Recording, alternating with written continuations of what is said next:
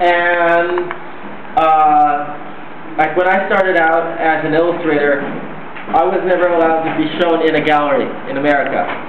And with the help of many of my friends and myself, we branched into gallery shows, we've had museum shows, and we're creating products. It's a very kind of art entrepreneurship.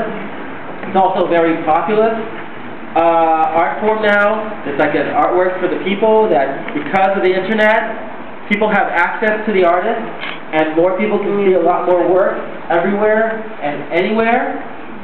It's actually a really exciting time. It's a little bit like the Wild Wild West. So there's less order, a lot more chaos, but there's a lot more choice, a lot more opportunity. And it also takes more responsibility in yourself to produce what you want to produce and to be successful at it. Does that make any sense?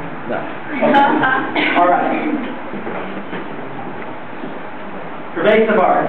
My definition is, as long as you stay true to your aesthetic, and have your, your artistic vision, your own artistic voice, and you have a message, or a good message hopefully, or an important message, you can use your art in anywhere. So you can blur the line between fine art, TV, film, fashion, put your art on a vinyl toy, on a skateboard, on a lamp, on a condom, on a girl's butt, anywhere, everywhere, you can create it, it's still art.